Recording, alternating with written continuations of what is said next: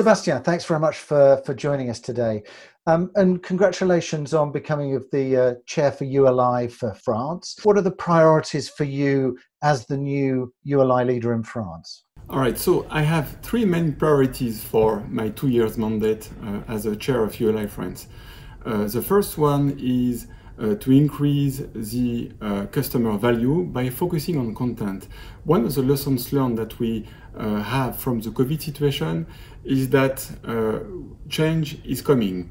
And in that situation, we want to make sure that the decision we do today will work tomorrow. I'm just going to give two uh, small examples. Uh, first is the future of office. You know, uh, we talk about uh, remote office and how the office will uh, react to that. and the second example is the future of retail with its relationship with logistics. And I'm thinking shopping centers as well as ground floor store.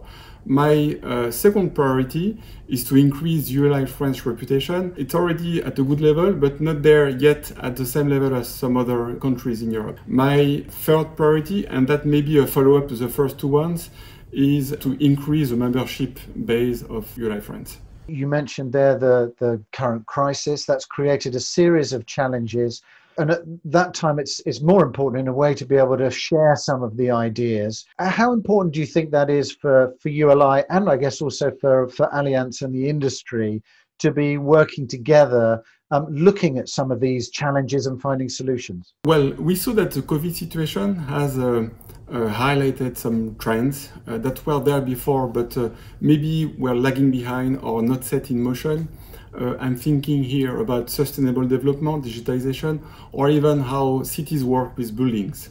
Uh, I think on those subjects, ULI is well equipped uh, to be the reference organization to turn to when you have to think about those uh, topics. Um, three main reasons for that. Uh, first reason is in France, uh, ULI have nine different product councils. So those product councils pretty much cover those uh, trend and subject. Second reason is that we have a, a, mem a membership which is uh, a broad range of uh, activity within real estate, uh, including also some people from private and the public sector. And the third reason is because ULI is a very international organization. It has more than 40,000 members worldwide. And if we think about it, those trends are not uh, specific to France. They, I mean, they are global.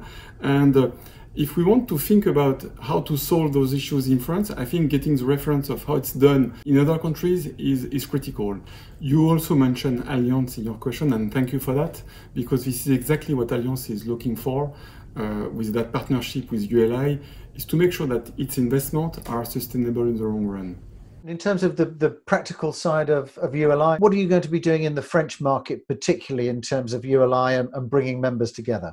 So practically, we plan on using much more webinars. We've used them during the lockdown period.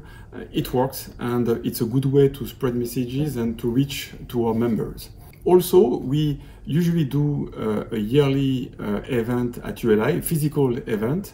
Uh, this year we have decided to run a hybrid, hybrid uh, event um, the 12th of November at the Allianz Auditorium. The subject will be the uh, Olympic Games of uh, Paris in 2024 and specifically about the heritage. We will try to address two subjects during that event. First one uh, being uh, what is necessary to achieve success in, uh, in that heritage. And the second question will be uh, are those investments financially viable? We will have some great speakers. So, and again, it's the 12th of November, Allianz Auditorium in La Défense. Be there and see you there. Uh, also, we would like to focus uh, on uh, two groups within ULI France, the young leaders and the next generation. So not only to teach them, but also to learn from them. They are the future. Uh, last, uh, I want to take that opportunity to thank uh, all of our sponsors. They uh, decided to renew their trust in ULI. And for me, it's a good sign that uh, we want to focus on what's going to be our future tomorrow.